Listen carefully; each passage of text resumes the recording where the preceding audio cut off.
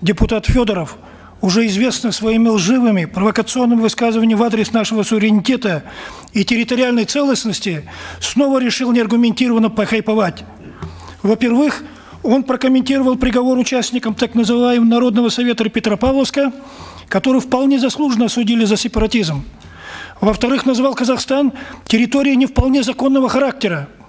Аргументирует он это тем, что наша страна обрала независимость без соблюдения всех необходимых процедур. Трудно комментировать провокации депутата Госдумы с интеллектом 13-летнего мальчика. Слободя Федорова противоречит истории.